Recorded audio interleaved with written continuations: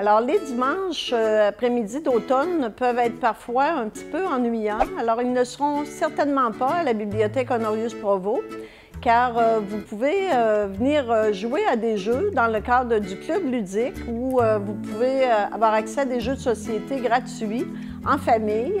Donc, vous pouvez tous les dimanches après-midi de 13h à 16h emprunter des jeux gratuitement en vous présentant au comptoir du prêt. Donc, c'est gratuit pour tous. Également, le dernier dimanche de chaque mois, on accueille des musiciens dès 14 euh, heures. Donc, euh, nous accueillerons M. Gilles Perrault, Mme Sandy Lessard et le duo Capricio. Donc, le dimanche, le dernier dimanche de chaque mois, vous pouvez entendre des musiciens, un beau concert gratuit.